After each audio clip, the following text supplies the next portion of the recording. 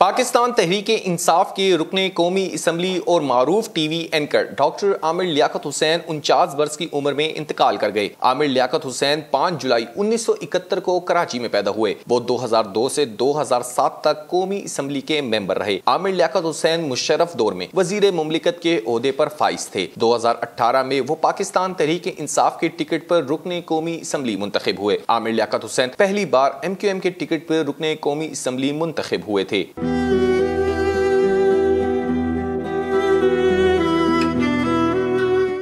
आमिर लियाकत हुसैन ने तीन शादियाँ की, जिनमें पहली शादी सैयद बुशरा इकबाल, दूसरी शादी सैयद तूबा और तीसरी कम उम्र दानिया से की। आमिर लियाकत हुसैन के मुलाजिम ने बताया कि आमिर लियाकत की गुजश्ता रात तबीयत खराब हुई थी, इनके दिल में तकलीफ़ हो रही थी। इन्हें अस्पताल जाने का कहा, लेकिन आमिर लियाकत ने इनकार कर दिया। रुकने कौमी असम्बली आमिर लियाकत हुसैन को आज सुबह तशवीशनाक हालत में निजी अस्पताल मुंतकिल किया गया, जहाँ डॉक्टरों ने तिबी मुआयने के बाद आमिर लियाकत के इंतकाल की तस्दीक कर दी। पुलिस के मुताबिक आमिर लियाकत की मौत की वजह जानने के लिए इनका पोस्टमार्टम कराया जाएगा, जिसके बाद मैयत को वर्षा के हवाले कर दिया जाएगा। पुलिस का कहना है की आमिर लियाकत के घर ऐसी शवाइद जमा किए जा रहे हैं। इनके मुलाजिम और ड्राइवर के बयान भी कलम बंद कर दिए गए हैं।